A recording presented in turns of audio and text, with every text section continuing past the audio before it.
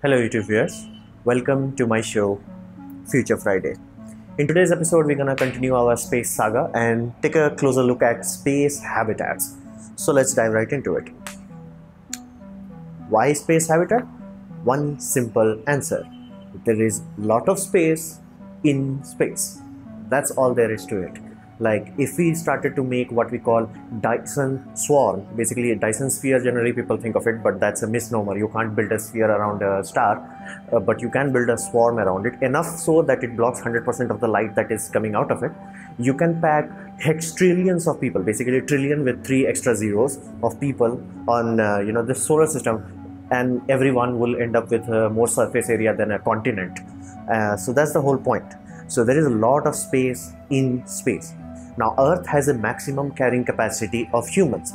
Now that is solely because human body generates heat. Like we have uh, like you can think of humans as 100 watt heating element. So right now let's say there are 10 billion humans. So 10 billion into 100 is the heat output of human alone as a species now you can put uh, push upwards of uh, 1 trillion to 2 trillion but the moment you start going upwards of that earth will have hard time rejecting that kind of heat. And i'm just talking about the living being as humans. I'm not talking about the energy that you have to spend you know heating lighting and uh, uh growing crops. So suffice to say we can't keep exponentially exp uh, you know expanding our population on earth. We have to go uh, elsewhere. Now i don't like the idea of reducing population simply because that flat out assumes we can't solve problems. So uh, right now there is a lot of space in space. So space problem is solved. Then power. Wherever you have humans human consume lot of power. And in every way shape or form we are dependent on power. Like we can grow crops uh, you know in underground vault if we have power we can refine uh, you know uh, air if we have power. We can basically filter out uh, drinkable water from sea if we have power. So everything comes down to the simple fact we need power. In space we have direct access to sun's power. Now on top of that now you might be like isn't it similar to like going to a planet or going to a moon or venus or mars? Well no simply because you can't control anything on these places. However you can control everything on a space habitat so let's uh, dive deeper into it. And uh, this space habitat series would not be even an idea amongst people without this guy. And many of you know him by his work O'Neill cylinders. This guy is the one who come up with this. Now uh, Gerard Kitchen O'Neill basically was a professor and uh, he wrote a very very uh, influential paper where he like after the Apollo era he got together with his uh, students and simply like okay let's uh, try to solve some problems. And uh, he came up with the idea like uh, create a spinning habitat. So we have gravity and that way create a, what kind of structures we can build with today's technology. Today's being in that day is 19 you know 60s technology. Not like you know Kevlar or not you know using carbon nanotubes. Things they had like steel aluminum you know glass and normal things. So what could they actually do? Now this changed the entire planet especially the face of uh, the fact that humans can truly live in space came because of this guy. Now there were people who were writing science fiction novel before him but because he was a physicist because he solved the mathematical equations before like you know jumping into the fantasy aspect of it he, he gave a legitimacy to the fact that we can do this. And he figured this out with uh, using 1970s technology. So in his mathematics he came up with the idea that we can using normal steel the steel that we mass produce uh, we can build a sphere or uh, basically a tube sort of scenario where tube could be upwards of 20 kilometer long and uh, basically diameter of the tube could be in multi kilometer as in 5 kilometer or 6 kilometer and it will uh, solve the radiation issue it will solve the day night cycle issue everything mathematically checks out. Like uh, the level of mathematics done here is more or less the same mathematics done for apollo project. So he put it like you know very seriously. Like before that it was like yeah we can because you know uh, people were going into space so and we've been to the moon so people knew that you know okay we can go to space but what can we actually do there? This guy like you know pushed it and you can read his book high frontier human colony in space. So basically he's uh, foundational for uh, space colony. And uh, the scale that he permitted like, like he came up with the idea of the scale that was ginormous. He was not talking about like okay five people in space or 50 people as you see in the movie 2001 space odyssey. He was talking about civilization level uh, situation where you'll have upwards of like a small island to a country size uh, structures. So he's very important to this discussion and i would urge you to research this guy. So uh, what about the control aspect? As i already tell like let's say you go to the mars and you somehow figured out how to inject atmosphere. You somehow created artificial magnetic shield. You somehow control the temperature. Awesome. But one thing you cannot do is you cannot add more gravity to it that's the uh, fundamental aspect of any uh, terraforming. There are certain aspects you can change. Like let's say it has atmosphere changing the atmosphere is doable. Biology already does that. And earth also used to be like well more or less like venus. It used to have co2 atmosphere. Uh, biological life over millions of years. It's not like you know you start planting trees and tomorrow there's going to be oxygen atmosphere. It took millions of years primordial uh, you know era kind of time scale. You're talking about billions of years. Then slowly my uh, microbial life converted enough co2 CO2 in enough O2 that they died out because uh, from their point of view oxygen was uh, you know toxic. So converting atmosphere is kind of easy but giving atmosphere to something that cannot hold it like uh, let's say moon or mars is completely different. Like you might as well create a dome around the planet that would be easier. So for this reason control comes into the uh, you know equation very early on. If you want to keep humans you have to give gravity to a place because of the spin gravity, the fact that we can do it, the fact that we have tested this, uh, there have been multiple centrifuge uh, research studies to show that humans can actually live and our body function will work more or less the same as uh, you know it were in gravity. That this idea actually took off that we can spin it and have gravity that feels exactly like Earth's gravity. However, uh, if you have smaller diameter, the, if the diameter is very small, you will have the issue where your foot is experiencing more gravity versus your head.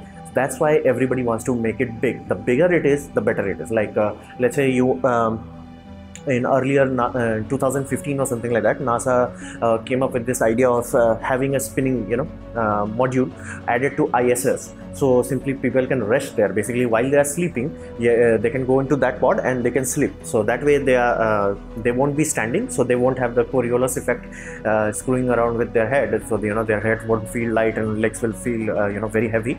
They can lay down and easily get their rest. And that will also save up time simply because if their bone density stops stopped uh, you know bone uh, density stops degrading because of zero gravity.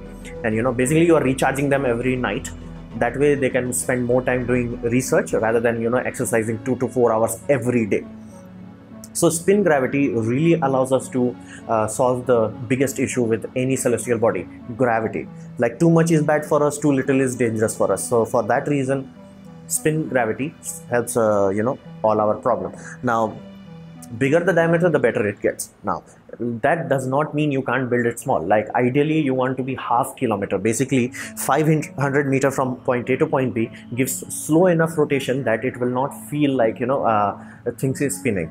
Now you go bigger than that like say 3 kilometer or 5 kilometer which mind you can be done with steel. No fancy material required no carbon nanotube no graphene uh, no kevlar normal steel with high quality construction you can go even higher than that. 10 kilometer is achievable. So let's say you lock it down to 5 uh, just by the fact that you will use so much uh, material you by default get radiation shielding. And uh, the fact that uh, gravity would be so uh, gradual that you won't feel like okay uh, I, I will walk up uh, a stair and like you know now I starting feeling dizzy because my leg is very you know gravity wise my leg is very heavy and my head is very light. So bigger is better in this and we can control the gravity. There has been a, a multiple attempts like Nautilus. This was a design from NASA that was supposed to basically take humanity to Mars and uh, the concept was very simple. People will live in habitats as they have but they will sleep and recharge in uh, basically spinning modules. And if you think this design looks familiar because this is the inspiration for the movie Martian. Uh, in Martian you also see there was a centrifuge that was spinning. Uh, the core aspect is from here. So this is why I want to um, make this aspect clear to you. On a space station or in space habitat, you can control every aspect. Atmosphere is super easy to control, and spin gravity, you can make sure you have 1 g. Now you might be like, okay, I, I want half g for some reason. Now uh, you have that option. Let's say you make spin this part to uh, let's say 1g you can have another habitat inside it where you can have half g for whatever your reason let's say you want to experiment how people live in like you know microgravity you can go closer to the center. Now the reason why i still want this to have 1g is very simple. You want to be able to go back and forth. Like you i don't want the scenario from mars where you know people lived there. Now they can't come back to earth because earth gravity is dangerous to them. Like you know their bones cannot support their mass. For this reason i want this to be 1g now if you want lower the no problem but you you just go center towards the spinning axis. So we have a lot of control in this now we come to the aspect okay you got the control you got the environment. How do you power it? Now solar cell like these uh, as you can see in the international space station they're a good starting point but they're not going to take us far. Now because they can only use upwards of 20 to 30 percent of electromagnetic spectrum that is coming out of the sun. That's uh, very wasteful. And uh, per megawatt uh, wise they are very expensive. Now there is an alternate to that is what we call solar thermal. So this will be you know the first thing then we go into something like this. And you can check this video in the description below where uh, using uh, mirrors basically nothing fancy mirror turbine hydrogen we can have gigawatts of electricity and uh, mirrors can be created in such a way that uh, it reflects a lot of uh, radiation basically infrared radiation uh, microwave radiation and uh, optical spectrum radiation. All that way you can get higher efficiency. So even per square meter you can get more usable power out of it. That's why we have to go solar thermal in you know future because the area still would be limited. Even though you are building things in space you don't you can't build like 500 kilometer uh, large size dish because it will collapse because of its own gravity. Now when i say its own gravity i don't mean the gravity would be like so strong that you can walk on it. It will like slowly over time it will collapse it. Like uh, if you exceed 300 kilometer anything that has mass becomes a sphere because of gravitational collapse. Now under no way that means the gravity is strong enough for humans but it, there is gravity. Like your center will start experiencing pressure for this reason we have to go with solar thermal uh, to maximize our area usability. Now okay we got power we got habitat. How do you feed these kind of people? One very simple answer vertical hydroponics. Now if you are unfamiliar with hydroponics think of it this way. If you are doing farming and you remove the soil from it that is what we call hydroponics. Basically roots are directly interacting with water. Now water also carries nutrition. It's not like raw water. We generally add some salt some nutrition some nitrogen some phosphates and things of that nature to uh, you know rejuvenate the plant. The benefit of this is the whole plant is edible. And uh, the material that you see can be just simply a sort of structure that helps them stay together. Basically it's uh, only there. The mesh that you see in this sort of area it's only there to hold up the plant. So it doesn't you know sink into the water and if you want to grow a lot of it which you need uh, for oxygen clearing reason you can uh, you know use periscope based light system for why we need to use periscope like structure and uh, why the windows cannot be used in space you can check my video about here. Now the simple reason is like if you have a window radiation also comes in. So for that reason you have to use periscope like structure because that way you can bypass the radiation issue. You can pump in lot of light and then filter out uh, blue out of it and make sure only red gets to it because plant utilizes red much more effectively. That way overall area temperature will be uh, you know very low. That way you can pack much more plant in a given area and utilize your pressurized volume much more effectively. So and if you're like uh, okay vertical hydroponic sounds like extreme uh, surprisingly large, large amount of tomato sauce in this plant is made by that. So make of it to whatever you will. So okay we got the food we got the energy we got the you know everything we need to do. What about defense? Things happen. War happens. Uh, things escalate. And uh, you know sometimes asteroid is like okay today is your day. So what do we do that? Now first we have to rely on laser defense now you might be like okay if lasers were that good why we are not using it why army men are not carrying laser guns and why our every ship is not you know armed with laser cannons like this simply because of atmosphere now, in uh, laser technology, there has been a recent advancement of what we call laser pulse. Basically, you put one megawatt. Now, instead of putting that one megawatt, uh, whenever you say megawatt is generally assumed in one hour, you compress that time. Now, so basically, you are creating a pulse. Now, why we can't use that pulse system here? Atmosphere will simply act like a brick wall now in space that pulse like if you shrink 1 megawatt of power into like 1 nanosecond the pulse is so strong that the moment it hits anything as in be, be it titanium be it diamond be it whatever it will annihilate the matter there. Basically it's a it's not gonna you know burn it basically break down big compounds into smaller elements. It's gonna break down the element itself. It's annihilation that because all you did you did not take magical amount of power. You just compress the power into a smaller time frame. So let's say your solar panels are only giving let's say 100 kilowatt. You take that 100 kilowatt you uh, squish it down to one picosecond. So basically you need giant capacitor for that. And in that one picosecond the power output the moment where that beam hits it's gonna annihilate it. Nothing can withstand that the reason why we can't do that in atmosphere simply because annihilation is happening the moment any atom starts to interact with this, which you can realize atmosphere has a lot of atoms. For this reason, these are quite limited on Earth, but in space they may work like a charm. Basically, uh, even in space, you don't even need very big pulse lasers. You can have uh, small, small, hundreds of small, small laser, and like if Earth decides to, you know, we're gonna nuke it, uh, you're like, okay, fire your ICBMs. The moment ICBMs are out of the atmosphere, you're like, tweet, tweet, tweet, tweet, tweet it's super easy. And if you want a physicist uh, approach toward it or professor's approach to it, I have provided the link below. Basically, it's useless. In, uh, lasers are useless in atmosphere. In space, they are awesome weapons, especially laser pulse weapon. Be mindful, like pulse is not gonna burn you, punch a hole in there. It's gonna annihilate. That matter is gonna break down to its subatomic components. And uh, one crucial aspect about uh, space is there is no stealth in space. You cannot hide anything in space the reason why things are hidden from us uh, in you know in earth because a atmosphere b sun. Now uh, when you go outside of the atmosphere even sun is becomes a manageable problem. Now imagine you have a rotating habitat. Hundreds and millions of camera would be uh, uh outside. Black and white camera with high dynamic range with very good signal to noise ratio sensors.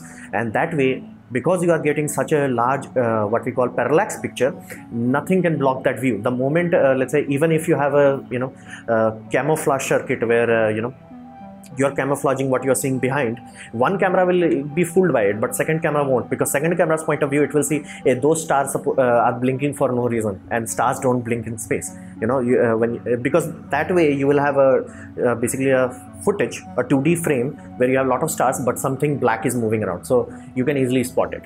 So there is no stealth in space and not to mention the infrared signature and all that thing you simply cannot hide in space. Physics does not allow you to do that and uh, radars can work flawlessly in space simply because a there is no atmosphere blocking it and b you can increase the power output without uh, you know worrying about uh, roasting birds and things of that nature. So uh, you can easily detect things you can easily defense against it. Now what about like small meteorites and uh, you know normal things? As my monday's episode uh, I talked about armor in International Space Station. Now there is one simple way you can deal with hypervelocity projectile, as in projectile that are traveling at 25,000 km per hour. What you do is simply, let's say you have a weight limitation that you can only send one centimeter thick, basically aluminum. What you do, you split them into two parts. Now that way you have one pressure cell and another what we call armor bumper or sometimes they simply call it uh, bumpers. And the moment high speed impact happen no matter what it is like let's say even if it's diamond the moment it hits aluminum because from its vantage point aluminum is standing still it get annihilated. Basically uh, it's not breaking down to you know it's a smaller chunks uh, you know it's a subatomic component like laser pulse but it is breaking down. Now once it breaks down it becomes much easier to stop. Basically like uh, a 50 caliber uh, gun is very hard to stop from a bullet uh, if fired from a sniper rifle versus a 50 caliber shotgun because shotgun has multiple pellets coming out of it. I'm not talking about buckshots uh, because the area is spread out. Of course you have to spread uh, the armor area also have to be bigger to handle it but you can handle it. That's how international space station is handling you know low earth uh, uh, basically low earth orbit because hundreds of impacts are happening every second. Now of course those are small impacts. If a big chunk goes in yeah this armor will not help but uh, if you are talking about uh, very large uh, you know pressurized vessel we can employ this multi-layer system where you will have one aluminum layer or if you are in future you can use a tungsten carbide hardest material known to us. So the moment anything hits it it will be shattered. Then on top of that current uh, basically iss what they have is kevlar armor below it. So the uh, basically shrapnel loses a lot of its velocity. And on top of that you have pressure pressure which stops penetration. So it is feasible like uh, this whole idea that uh, we can't really build something that can withstand uh, you know orbital impacts. Not true because iss is stopping it. And not to mention the armor on iss is uh, kind of very directional. It's meant uh, you know it's only put in the front front area being the orbital where it's, where it's getting most of the debris. So you can beef it up so much that uh, it will take serious kinetic energy to go through it without getting destroyed. And the fact that it is mobile the uh, whatever however big it is the fact it is in space you can move it very slowly but you can move it. That gives you complete protection against large annihilation level objects. Basically if there is a giant asteroid coming towards you let's say 100 kilometer asteroid and for some reason it's made out of uh, let's say uh, very low reflective material basically it's very hard to detect and we missed it for some reason. Let's say we were busy in war and randomly it starts to come in because nobody paid attention to it. Happens. Humans are prone to errors. So things of that nature let's say happened and randomly this giant asteroid is coming that we can't deviate it past we can't blow it up. Yes we'll move your uh, you know habitat. It, it's gonna take time. Uh, it's not like you know a habitat where you're just press emergency button and boost your habitats out. Of because it's spinning you have to make sure uh, you make sure the gravity is compensated for. If you don't compensate it people will die inside.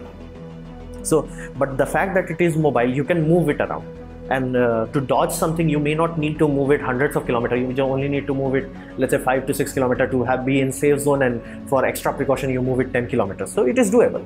So all these things combined uh, do not think of these kind of habitats as a weak indefensible positions. It's quite strong quite sturdy and uh, if done with advanced uh, moon mining you can check my video here. Uh, if we did my uh, all the resource from moon we can build the structure as a like a very uh, strong uh, vessel where you can be trusted in this. Like you will be more safe in it than you are on earth. So defense wise you don't have to worry about anything. So this was my presentation on basically space habitat. I hope you liked it or learned from it. In that case please leave a like. If you didn't don't worry about it. You can dislike it. And i would urge you to leave a comment what you want to see in the next episode of future friday. And please uh, i would uh, ask you to please subscribe and share it amongst your friends and press the bell icon if you are free. And as always thanks for watching